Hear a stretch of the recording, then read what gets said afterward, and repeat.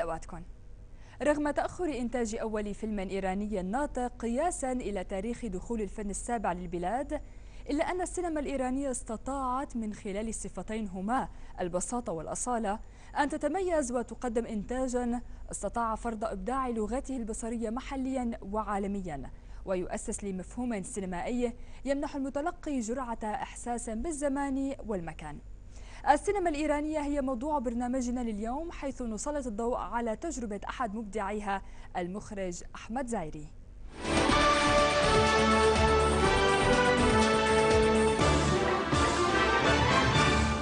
حلقة خاصة من سينما نمخر خلالها عباب السينما الإيرانية ونسلط الضوء فيها على إبداع المخرج أحمد زايري الذي يدير عدسة كاميراته اليوم في دمشق. موثقا أحداث فيلمه زيتونة سعد.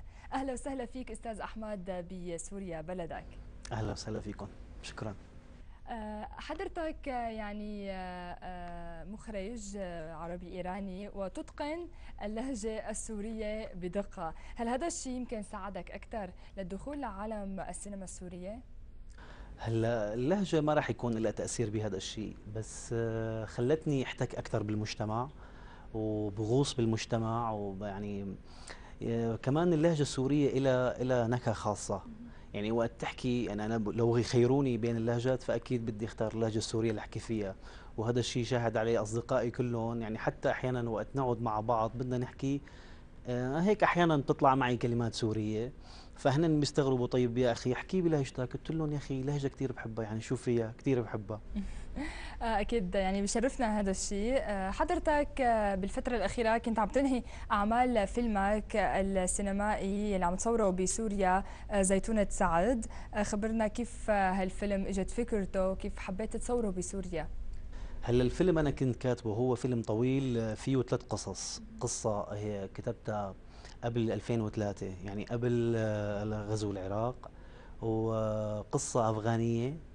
وقصة ثالثة إسا من دون جغرافيا. يعني ما كنت محدد الجغرافيا وين بدها تكون.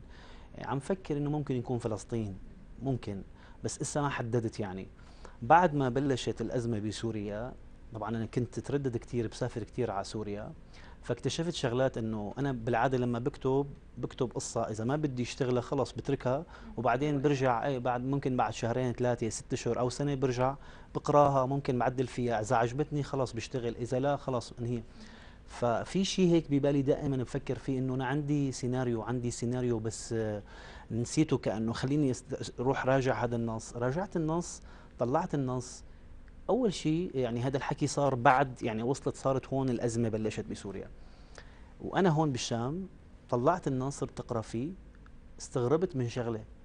إنه أنا كاتب هذا النص فعلا هو كأنه مفصل تفصيل كامل على سوريا على سوريا بالضبط. فخلص قلت خلص بدي اشتغل هذا الفيلم.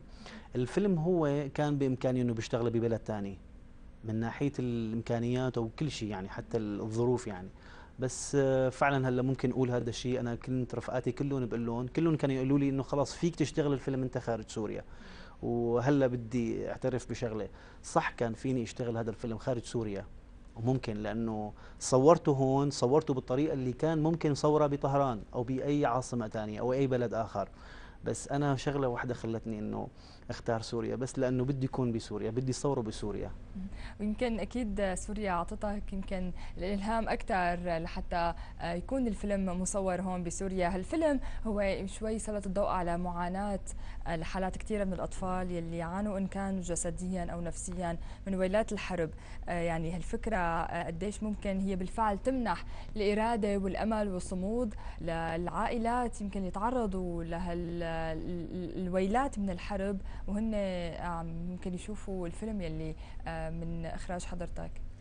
كلياتنا بنعرف شغلة إنه مستوى الجريمة بسوريا على مستوى الوطن العربي كان منخفض جدا. ممكن هي آمن بلد بكل الوطن العربي. أول يعني نمبر 1 كان سوريا. ووقت تكون أنت ببلد آمن تماما ولد يعني بلد يعني بالرخاء. خاصة نحن الرخاء مو معناتها إنه ثروة ما بعرف لا. الرخاء هو أول شيء الأمن. أنت يكون عندك أمن. بعد ما صار عندك أمن صار عندك كل شيء. بيجي بتسلسل يعني. فالأطفال اللي بيعيشوا بهيك بلد هن أطفال خاصين. يعني تمتعوا بكثير شغلات. أطفال سوريا قبل قبل الأزمة كانوا يتمتعوا بالأمن بالطفولة الحقيقية. كانوا بيعيشوها كانوا بيلعبوا اخذين حقوقهم يعني حقوقهم بالكامل. تماما. وزاد الحقوق الأطفال الأطفال السوريين عندهم شغلات ممكن كل الأطفال بالعالم يفتقدوها. لا ما بدي أنا كمان أعطي شعارات لا. هلأ على القليله قولي الوطن العربي لأنه عندهم جمال عندهم طبيعة عندهم حياة جميلة جدا فكانت عندهم هي شيء يتمتعوا فيها. أوكي؟ لما صارت الحرب آه، في إحصائيات عن مستوى مستوى الجريمة والطفولة خصوصا يعني هي أنا ما ما بتذكرها هلأ ما عم بتذكرها. بس احصائيات نسيت الرقم. صار الطفل السوري بيلعب على الجثث. صار الطفل السوري إيه، في جثة عم يلعب في فيديو موجود على الإنترنت. لما شفته ما قدرت أمسك حالي. فهيك وصل الحال بالأطفال السوريين بيلعبوا على جثه كثير صعبة هي الصورة. هلأ نحن بدنا نجتاز هذا الموضوع. أنا جيت لقدام إسا شوي. في أطفال آه نتيجة القذائف نتيجة الحرب اللي موجود الدائرة حاليا ففقدوا أطراف منهم فقدوا أهاليهم فطفل كثير مهم أنك كيف تتعامل معه. فمشان هيك قررت أنه بشكل أو بآخر أنا بشتغل فيلم. نحن بنحكي عن طريقة التعامل مع هدول الأطفال. كيف نحتويهم كيف نتعامل معهم كيف نفهمهم كيف نحكي معهم. وكيف نقدر نسحبهم للحياة. صح نحن عايشين بظروف غير طبيعية أكيد لا شك بذلك ولكن الطفل هذا بده يكبر. أنا إذا تركت الطفل مثل ما هو أوكي؟ مثل ما هو تركته بهالظروف هي بكرة شو بده يصير؟ والحياة بدها تستمر ومستقبلنا موجود يعني نحن ما فقدنا المستقبل ممكن فقدنا الحال بس المستقبل لساته موجود. أنا ما فيني أترك الطفل لأنه هذا بده هو يأسس المستقبل. إذا تركته تركت المستقبل. فمشان هيك أنا قررت إنه بشتغل هذا الشيء ولو يكون هو عمل بسيط جدا على فكرة. لكن حبيت يعني تعكس بالمقابل بالمقابل, إيه، بالمقابل للازمه اللي موجودة. اللي لأطفال سوريا تماما. من عن طريق هالفيلم آه، رح نشوف طفل موهوب آه، هو عبد الرحيم شارك بهالفيلم وكان يعني من بط من بطولته. يمكن وكمان من بطولة الفنانة رنا شمس كيف تم اختيارك لهالفنانين لحتى يشاركوك بفيلمك؟ خاصة أن مثل ما ذكرت حضرتك أنه أنت كنت حابب تصوره بسوريا وممثلين كمان سوريين. أنا حضرت فيلم كنت عم دور على أطفال. آه، يعني شيء أربعة خمس أطفال شفتهم بس لسه كنت ماني مرتاح من من هدول الأطفال إنه بيأدوا الدور. بالصدفة شفت فيلم حضرته بدار الأوبرا بدمشق. هو آه، اسمه الفيلم كمان نسيته. وقت شفت الفيلم فكان في آه، عبد عبد الرحيم سألت عنه فأنا لسه ما عرفان أنه عبد الرحيم هو نفس الشخص اللي كان ب The Voice هي شغلة. فهنيك تم الاختيار. حطيت أنا عبد الرحيم ببالي. هلأ هي قصة جديدة هلأ حدثت معي قبل يومين. طبعا بعد ما خلصت تصوير اخترت أنا عبد الرحيم وطلع عبد الرحيم number 1 بالفيلم تماما. قبل يومين تماما.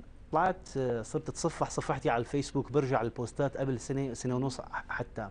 في فيديو أنا عملت له share وكتبت في طفل هو عم يغني بأحد مدارس جرمانا ولما نزلت ال post المدربة تبعيته بعثت لي رسالة إنه أنا اللي مدربته. قلت لها أنا بس نشرت ال post يعني ما لي علاقة أنا نشرت الفيديو أتذكر الحادثة. فكتبت إنه الصوت رائع جدا. أنا ما لي علاقة بالصوت ولكن الوقفة لهذا الطفل طفل صغير الوقفة لهذا الطفل هي وقفة طفل رجل كبير وهذا عنده مستقبل. الحضور يلي بيمتلكه يعني وال وال والكاريزما تبع عبد. فاكتشفت إنه هذا الطفل هو عبد. عن جد يعني صدفة. هو الطفل اللي أنا نشرت الفيديو قبل سنة ونص. اخترته لفيلمك. اخترته لفيلمي وصار هو بالفيلم. عبد كان مغني صوته رائع جدا. ولكن بالفيلم حصل تحول هنشوف موهبة جديدة عند عبد. وراح تكتشفوا موهبة جديدة بالتمثيل بسوريا. نحكي شوي عن قصة الفيلم. آه، يعني عبد رح يمثل الطفل السوري يلي تعرض يمكن للإرهاب وللقذائف الإرهابية يلي تعرض لها كثير من الأطفال بسوريا. آه، نحكي شوي خبرنا عن قصة الفيلم. شو بصير بعبد؟ شو حالته بتكون؟ ما فيني أقول لك قصة الفيلم بشكل يعني بس راح أقول لكم بعض المفاتيح للقصه فيما يتعلق يعني بالطفولة. هلا هو سعد زيتونة سعد. هو سعد الشخصية الأولى للفيلم. آه، سعد هو يلعب مع رفقاته بتنزل قذيفة. بتنزل قذيفة فبيفقد البصر ما عاد فيه يشوف. بيبلش الفيلم ما بعد الحادثة فبنشوف سعد هو بالبيت ما بيطلع أبدا ساجن حاله بالبيت. فهون آه، بتبلش الأم بشكل أو بآخر بدها بدها تساعده للطفل. طبعا هي بالمساعدة مع أشخاص آخرين مشان هو بيطلع بكفي حياته. آه، دور الأم آه، ادته الفنانة رنا شميس. أنا بدي آه، أقول بس شغلة بسيطة عن هي الفنانة. أنا ماني محتك بالفنانين السوريين لأنه هذا باعتباره أول عمل لإلي بسوريا عمل سينمائي. اللي اكتشفته بالموضوع إنه أنا عم أتعامل مع إنسانة بالدرجة الأولى. بعد فنانة وبعد نجمة و و و. أول شيء تعاملت مع إنسانة. فهذا الشيء بالنسبة لي كان تجربة ممتعة جدا وكثير فخور بهذا الشيء أكيد بنوجه لها تحية. نحن رح نتابع مع بعض أستاذ أحمد كواليس من فيلم زيتونة السعد نرجع نكفي حديثنا معك.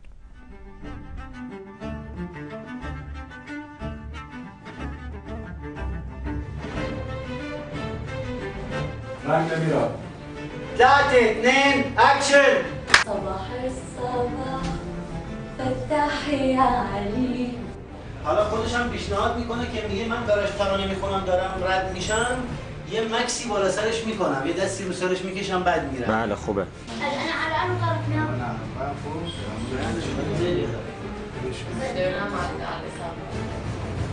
لا احذر شو ممكن ندور هو ممكن يتصدق شوي انت ما بدك تشرب انت نام بالطريقة اللي مرتاح فيها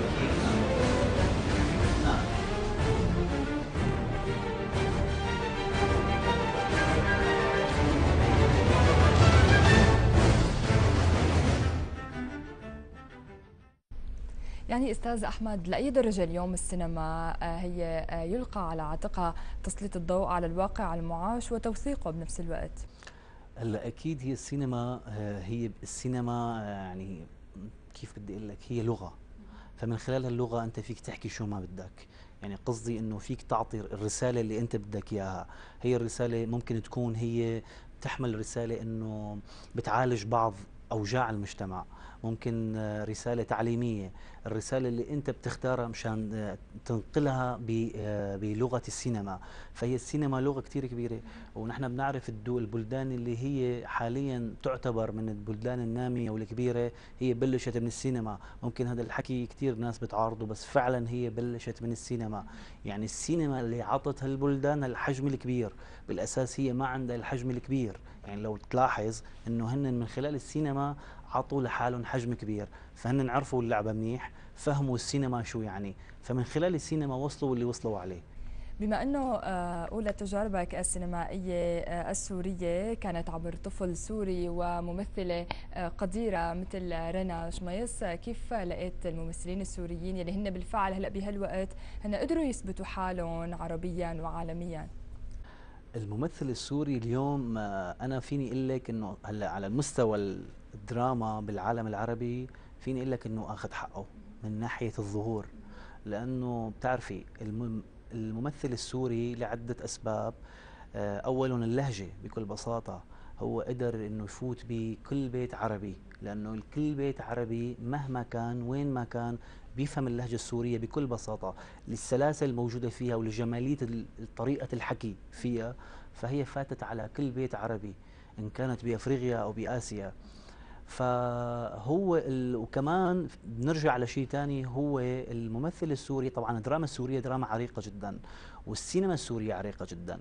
يعني أنا لما بحكي عن السينما السورية بحكي بوجع لأنه بتعرفي آه بلشت السينما بسوريا ب 1924 يعني بوقت كثير بكير العالم لسه ما عرفان كان السينما شو يعني فهي بلشت الأفلام اولى الدول العربية اللي دخلها الفن طبعا. السابع. ف وقت تكون عندك أنت سينما وتجارب سينمائية عريقة جدا فأنت أكيد عندك هالزخم الكبير من الفن والفكر وخاصة هذا راح يدعمك بمجال ظهورك الفني حتى. فالفنانين السوريين خصوصا الممثلين نحن بنعرف إنه غسان مسعود وكثير من الفنانين إنه ظهروا عالميا من دون البلدان الثانية ما قدروا اخذوا حقهم بالظهور ولكن إسا نحن بنستنى أكثر هن عندهم الإمكانية فعلا عندهم الإمكانية وعندهم القدرة على أنه بيكونوا بالواجهة بالدراما العالمية وفيني أقول السينما العالمية. وبنفس الوقت كمان يعني رغم الظروف يلي عم تمر فيها بلدنا قدر يمكن الممثل السوري والدراما السورية وحتى السينما السورية تضل محافظة على مستواها والحرب يلي عم نمر فيها ما كثير يعني يتاثر عليها آه، ضل في صمود عند الممثل السوري والإستمرار للإمام. أكيد لا شك بذلك وبعدين آه، الأوضاع خال- حاليا اللي عم تمر فيها سوريا هي آه، أحيانا فيك أنت تستفيد منها بشكل ثاني وعم يستفيدوا على فكرة. يعني أنت فيك تاخذ القصص اللي موجودة هي ضمن الأزمة وضمن الحرب اللي الناس عم تعيشها. وشفنا كثير تجارب طبعاً. بس أنا في شغلة بسيطة واحدة. يعني الدراما السورية مع الأسف يعني الدراما السورية قدرت إنه شوي بتزيح السينما. يعني لو ما الدراما السورية وانتشار الدراما السورية بهالقوة لكان ل... كان دور كبير للسينما السورية. كانت استمرارها بيكون إسا أكثر وأقوى. بس باعتقادي الشخصي يعني هي آه هذا رأي شخصي إنه الدراما السورية لما كبرت امزحت السينما. فالسينما أهم بكثير من الدراما. بس يعني نحن انتشار التلفزيونات بالوطن العربي كمان كان مؤثر والطلب المتزايد على الدراما السورية كمان كان مؤثر إنه بيلغي شيء اسمه سينما. ولكن من الطرف الثاني عم نشوف نحن رغم هالظروف الصعبة اللي عم يمر بها البلد ورغم قلة الإنتاج نحن بنعرف إنه إذا في إنتاج هو إنتاج دراما مسلسلات ما في إنتاج سينما. بس رغم كل هالشيء في في أفلام في سينما عم تنشغل بسوريا. فهذا بيكون يعني فعلا عمل جبار. أنت بهالظروف بدك تشتغل سينما عمل السينما صعب جدا. نعم. يعني كمان برأيك هل السينما هي عم تعطي حلول ومفاتيح لبعض الأمور ويمكن بعض المواضيع آه، وعكسها للواقع أم هي مجرد فقط تسليط ضوء على الواقع المعاش؟ هو ما أنا بس تسليط ضوء. لما أنا بعكس حالة معينة بالمجتمع فلما بيشوفها في ناس كتار ما عم يشوفوا في ناس كتار فعلا عايشين ببيتهم وعايشين بحارتهم وعايشين آه، بالجو اللي هن فيه. ما بيعرفوا شو عم يدور عند جاره ما بيعرف شو عم يدور. فعلا وصلنا للحالة نحن.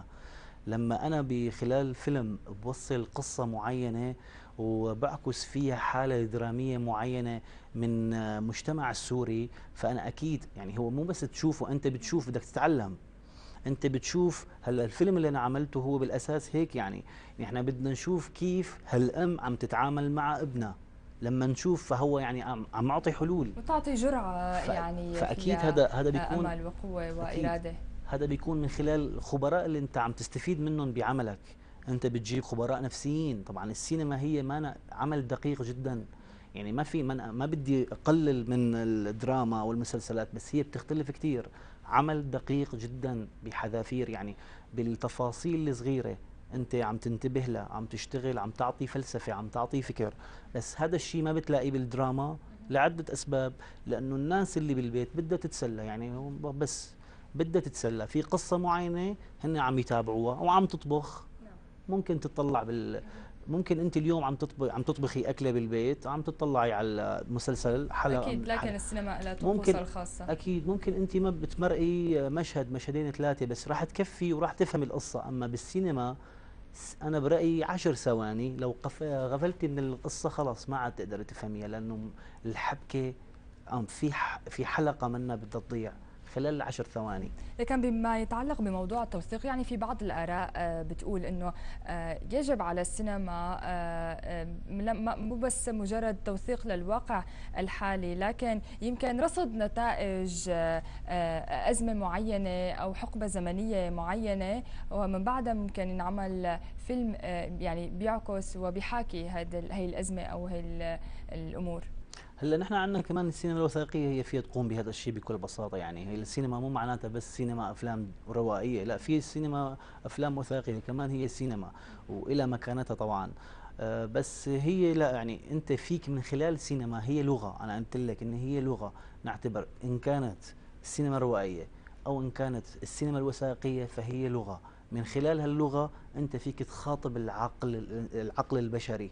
وطبعا باستعانة الخبراء باستعانة الناس اللي عندهم هالقدرة على إنه بيأثروا على جوات البشر.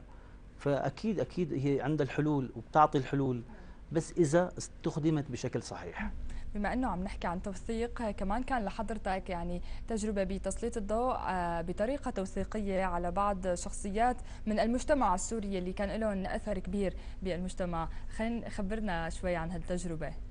هي تجربة جميلة كانت. نحن اشتغلنا هذا العمل هو عبارة عن 13 حلقة للفضائية السورية. قبل سنتين أتذكر أنه اسمه البرنامج إيقاع الحياة. آه، اخترنا شخصيات مؤثرة بالمجتمع السوري.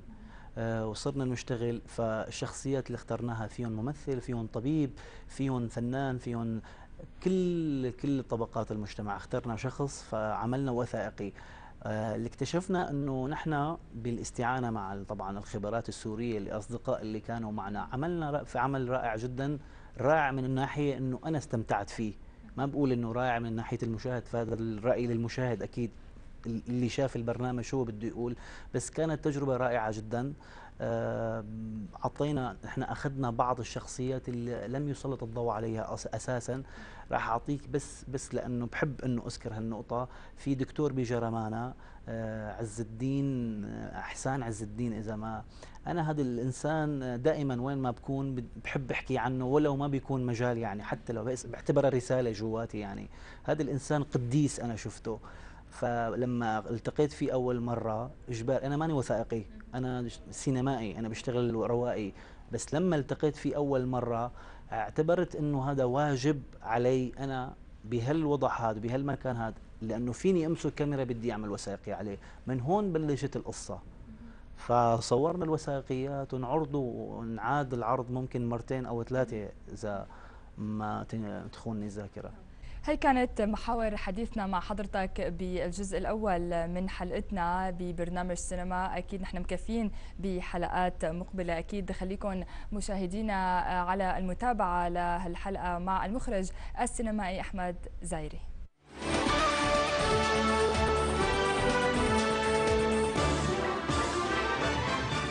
أخبار البوكس أوفيس والحملة تنافست على المراكز الخمس الأولى بشباك التذاكر ومن تصدر المركز الأول منتابع بهالتقرير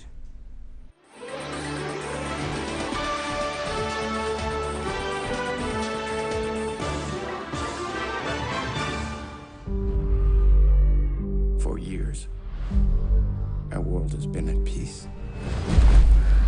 But something is coming. I can feel it. احتل فيلم واركرافت المركز الخامس بشباك التذاكر الأمريكية الفيلم من بطولة ترافيس فيميل دومينيك كوبر بولا باتون وبين فوستر This is suicide. We have no choice. We should attack with full force. Let the momentum of the car do the work for you. It's all in the wrist.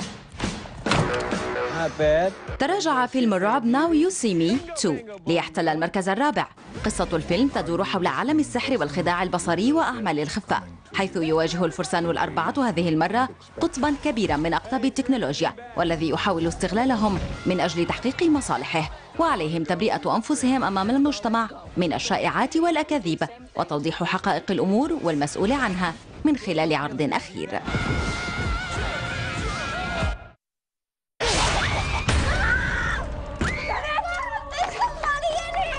بعد تصدره المركز الأول تراجع فيلم The Conjuring 2 ليحتل المركز الثالث بإيرادات بلغت 40.3 مليون دولار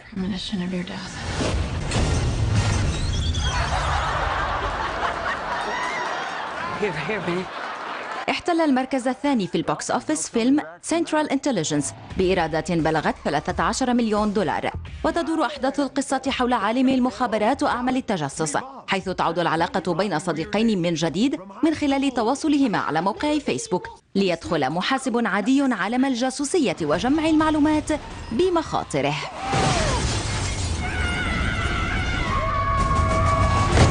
Our friend got taken into whatever this place is. It's a fish hospital. I feel fantastic! تصدر فيلم ال animation Finding Dory إيرادات ال box office الأمريكي لهذا الأسبوع محققا إيرادات وصلت إلى 54.9 مليون دولار ويقوم ببطولة الفيلم بالأداء الصوتي فقط. النجمة إيلين ديجينيرز ألبرت بروكس وإيد أونيل.